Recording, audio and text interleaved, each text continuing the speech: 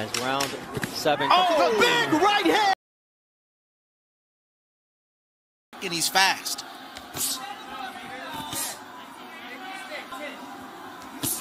Nice Right counter hand. right from Inoue after Moloney lands a shot of his own.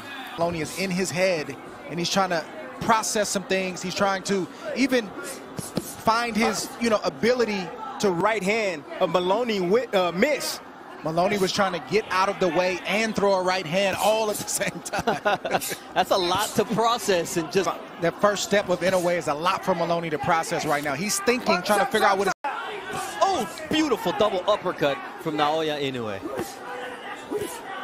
Nice right there from Jason Moloney on the inside, using his strength, and he gets clipped by a left hook from knocking for a big overhand right.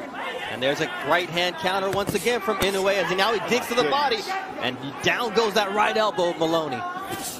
Nice stick jab from Moloney though. Andrew Moloney, who knows his brother as well as anyone, says he has to punch sharper. With power. He's been it. See, he's being out muscled. I mean, that power and that speed.